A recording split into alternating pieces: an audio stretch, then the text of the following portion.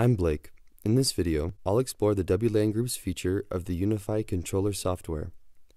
WLAN groups are a practical way to quickly create wireless templates to be assigned to one or more UAPs. Each WLAN group supports up to four unique WLANs. On the AP, each radio can be assigned a WLAN group. When creating a WLAN, first enter its name and save.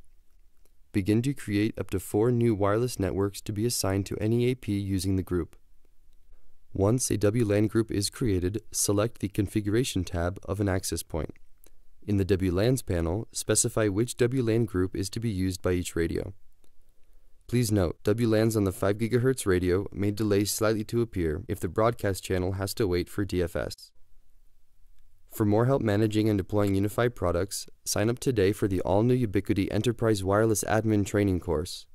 Thank you for watching this video.